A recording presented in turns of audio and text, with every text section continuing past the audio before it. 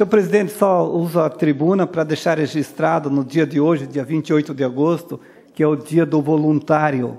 Instituído pela Lei 7.352, de 28 de agosto de 1985, hoje é Dia Nacional do Voluntário, que busca reconhecer e destacar o trabalho das pessoas que doam seu tempo, trabalho e talento de maneira voluntária para as causas de interesse social e para o bem da comunidade.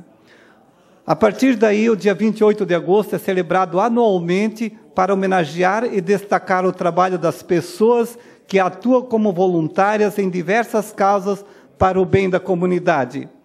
O voluntariado é o conjunto de ações de interesse social e comunitário em que toda atividade desempenhada reverte a favor do serviço e do trabalho. É feito sem recebimento de qualquer remuneração ou lucro.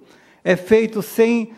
É, é uma profissão de prestígio, visto que o voluntário ajuda quem precisa, contribuindo para um mundo mais justo e mais solidário. Parabéns a todos os voluntários pelo seu dia que se comemora no dia de hoje, dia 28 de agosto. Obrigado.